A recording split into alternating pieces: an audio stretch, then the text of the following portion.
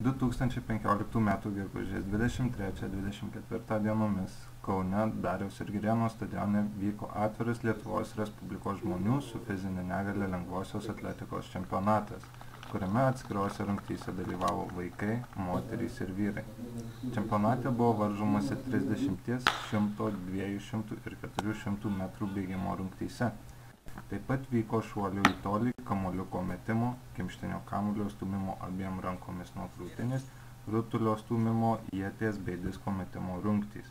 Marijampolės krašto žmonių su negale sporto klubą siekis atstovavo trys atletai – Vidas Balkauskas, Martinas Janulevičius ir Rimantas Balčiūnas.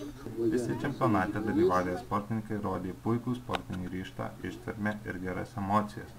Marijampolės krašto žmonių su negale sporto klubo siekis atstovas Vidas Balkauskas iškovojo trečiąją vietą ieties metimo rungtyje, geriausiu savo metimu ietį numesdamas 28 metrus 62 cm ir taip atsilikdamas 4 metrais 35 cm nuo antrąją vietą iškovojusio Artūro Valionio. Pirmąją vietą ieties metimo rungtyje iškovojo Vitalijus Kavaliauskas geriausiu savo metimu ietį numetęs 38 metrus 48 cm. Čempionato pabaigoje visi sportininkai iškovoję prizinės vietas buvo apdovanoti medaliais, taurėmis bei diplomais. Berlyne birželio 16-21 dienomis vyks atviras pasaulio lengvosios atletikos čempionatas, kuriame dalyvaus Lietuvos žmonių su fizinė negalio lengvosios atletikos rinktinė. Linkime sėkmės.